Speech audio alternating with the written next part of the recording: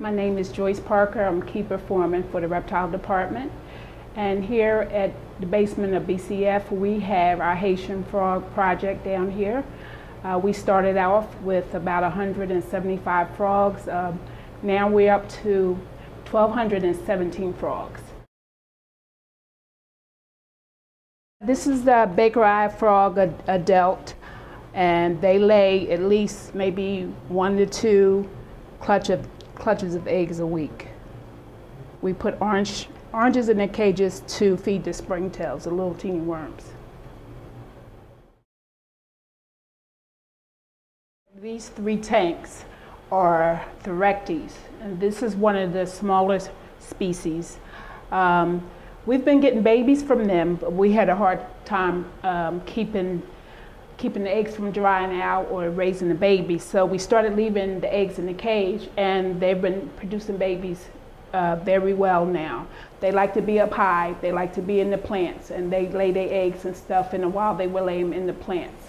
I noticed with these frogs, they like a lot of um, humidity. They're high humidity. Um, once you miss them, they do a lot of calling.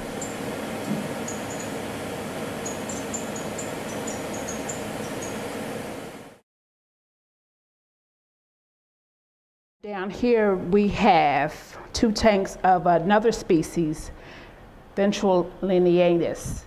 These are adults. They have produced eggs. Uh, we've had one baby from one group, and th that was it.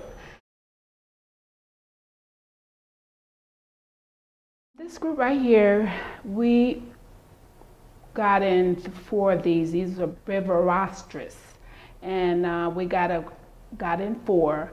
Um, it looks like it may be one male and three females, but uh, we've had offspring from them, um, and we just found five uh, babies uh, about two days ago. And these guys, they like to hide in the plants. Uh, they like the high humidity, and um, they do a lot of calling too. But they're real pretty green. They, they blend very well in with their plants.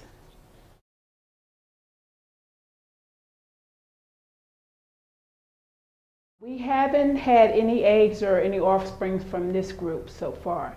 And we have the two males and one female. And they dig uh, deep down under the dirt. In fact, um, cleaning them last week, it took two hours to find them.